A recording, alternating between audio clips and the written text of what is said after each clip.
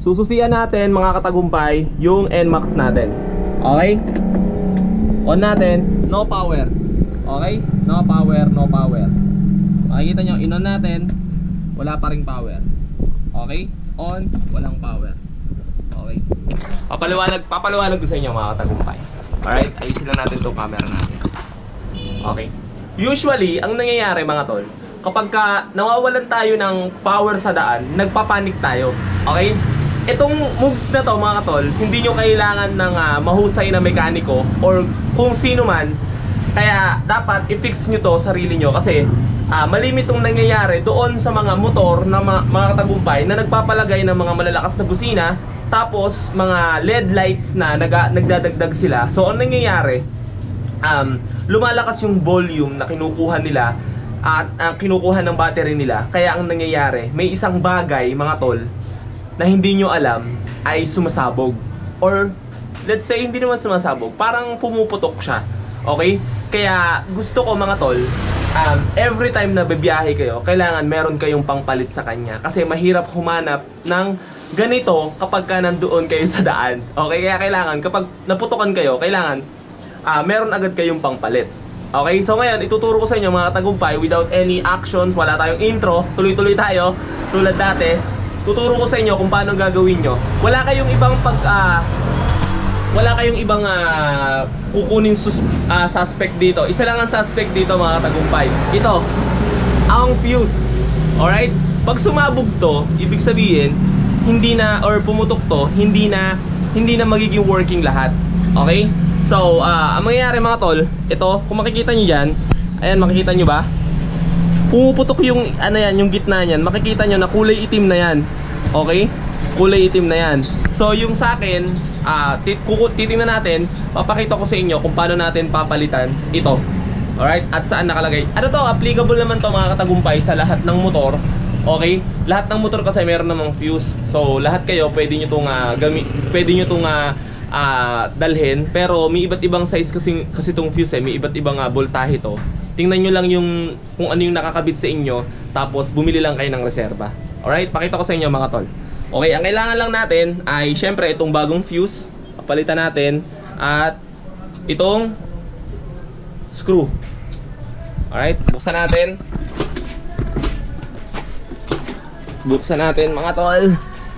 Kailangan natin ng screw. Usually dito nakalagay kasi sa NMAX mga tol. Tapos yung sa mga Mio Sporty dito nakalagay sa loob.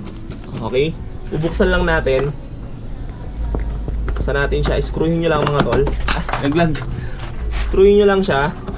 Ayan ha, para may matutunan kayo. Alam ko marami magsasabi dyan, ano ba yan, basic na basic yan. Mga tol, hindi lahat alam to. May mga nanonood dito na hindi nila alam to. Yung iba na alam na to, eh di okay, skip nyo na lang yung video. Pero usually kasi, hindi to alam nung iba eh. Alright? Ayan, tanggalin natin mga tol. Buksan lang natin to. Sa NMAX nakalagay, ito yung battery niya. Sa NMAX dito nakalagay yung battery niya mga tol. At dito yung fuse niya. Alright? So, yun, yun kasi, usually pumutok na yung isa. Kunin natin, kukunin natin. Ayan. Alright? So, papalitan na natin ng bagong fuse. Kunin natin to. Yung bagong fuse nito mga tol. Ito yung ikakabit natin, ipapalit natin dito. Alright? Ayun yung ilalagay natin dito mga tol. Para mag-work lahat ng ah, system natin. Kasi kapag ka walang electricity, hindi kayo makakaandar. Alright? So, ang gagawin nyo lang, hanapin nyo lang to. Ayan. Diyan yung nakalagay. Ah, usually kasi makikita nyo na sunog to. Ayun yung kauna-unahan yung titingnan. Alright? Sunog yan. Yun yung gitna. Sunog yan. Tapos ito yung ipapalit nyo doon. Alright? Make sure lang mga tol na naka-off ha. Naka-off kayo.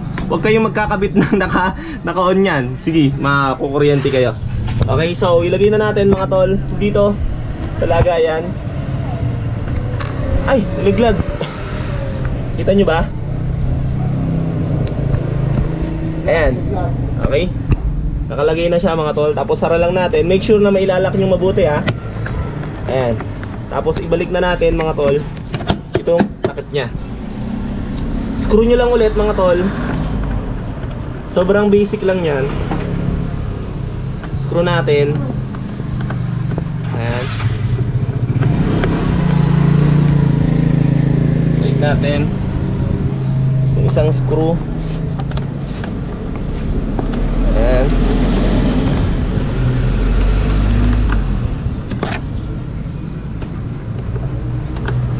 Lah, ayaw.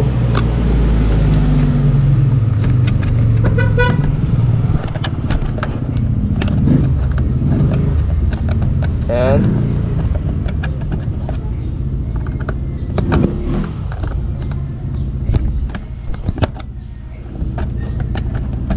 Wala kasi tayong cross screw mga katagumpay eh. Kaya flat yung ginamit ko. Okay lang naman. Basta kasya. Tsaka masisikipan nyo siya. So yan. Okay na.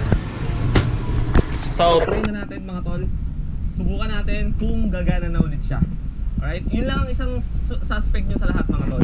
Walang iba. Ah, susian ulit natin tulad ng ginawa natin kanina. At boom. Ayos ba? O, ulit. Susian ulit natin. Boom. Try natin start mga tol.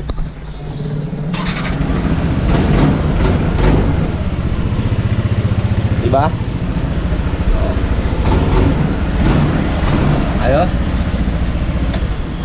So, ganun lang yung kasimple mga katagumpay. At alam ko naman na yung iba dyan, ah, magko-comment na simpleng-simple lang yan. Kaya lang, simpleng-simple nga to, dapat alam na nating mga katagumpay natin, no?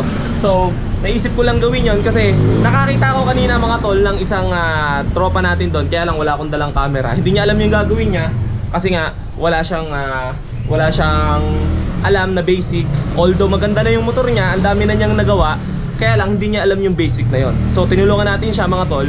Ibinili natin siya. Bu- buti na lang may bukas na hardware doon sa amin sa may Rosal at naibili natin siya ng fuse. Alright? So, Mio, Mio yun. Mio yung binili natin. Pinakita lang natin yung ah, fuse na sumabog sa kanya. Pinakita natin dun sa store. Tapos binilhan ko na siya ng tatlo. Sabi ko, extra mo na yan, tol. Alright, pag sakali, ganito, ganyan.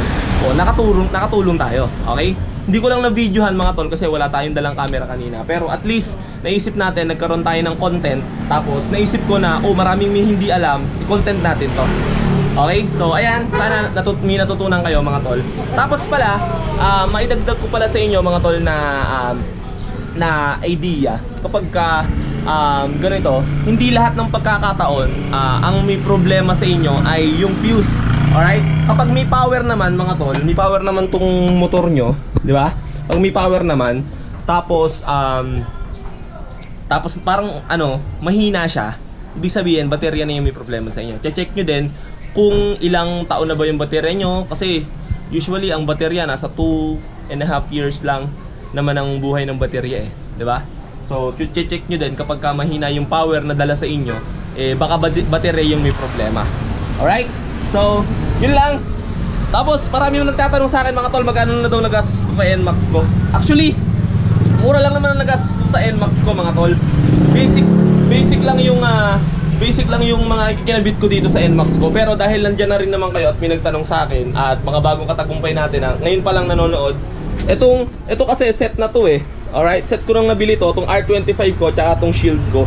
Tong shield ko mga katagumpay, kung makikita nyo yan, ah, galing talaga to sa Yamaha. Alright, ito, Yamaha. Kaya lang, ah, second market na yung nabilhan ko, parang yung nagtatrabaho na dun sa Yamaha, yung nabilhan natin. Kaya, legit to, hindi yan naninilaw mga tol. Ba't ko napili yan? Ah, wala lang. Kasi parang, ang dahil kong nakikita na nakasmoke na. Kaya sabi ko, baka pwedeng ah, mag-clear clear ano naman ako, windshield naman ako. Which is okay din naman.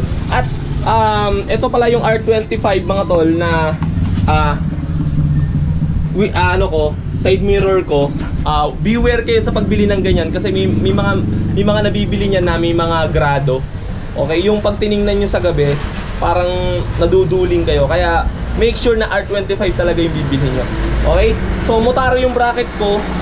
Yung bracket ko Motaro yan, kaya hindi siya magalaw. Alright? So sa pagpili pala ng windshield mga tol, eto kung makikita nyo, mahaba kasi yan eh. ba? Ayan, mahaba yan. Ganyan kahaba yan. Kaya napili ko yung ganyan kasi ah may, may purpose yan. Yung hangin kasi ah ayoko na humahataw sa akin. Parang nakakapagod eh kapag palaging humahataw sa akin. Pero choice din nyo naman. Pwede naman yung maliit lang din hanggang dito ang bilhin nyo. Okay? So dito naman sa ano ko, sa sa box ko mga tol, kung makikita nyo, nakasek ako na 32 liters na sek galing kay ah, Crits Ligarda. Meron din akong video na to mga tol. Tapos PM nyo lang siya kung gusto nyong bumili sa kanya. 32 liters, good na good na sa akin para kay NMAX ko. Yung iba naliliitan dito mga tol. Pero choice nyo naman, no? Choice nyo kung anong gusto nyo. Nasa sa inyo naman yan. Ayan, basta sa akin 32 liters enough na para kay NMAX. Tapos ito, yung bracket ko ay 2 hole. 2 hole lang yan mga tol. Kaya lang nagawa namin ng paraan para ikabit yung apat. Ayan. Kaya hindi siya nagalaw-galaw. Okay? Yun lang naman ang na ano ko diyan na na na upgrade natin kay M NMAX natin. Tapos ito, tong mga gold bolts natin. Ayan. Yan lang mga in-upgrade ko diyan mga tol. So yun lang, wala naman tayo masyadong pag-uusapan dito. Sana nag-enjoy kayo mga tol. At hit nyo yung like button. At comment pa kayo kung may gusto pa kayo malaman. Mga basic lang. Kasi basic lang naman din ang alam natin eh. Alright? So yun lang mga tol. Thank you so much sa panonood. At sana nag-enjoy kayo. Sherman, JTV again. Subscribe ha sa mga hindi pa nakaka-subscribe. Subscribe. Peace. Sunod natin i-upload yung Q&A natin na pinost ko. Hinggang malalim in peace out. Yeah.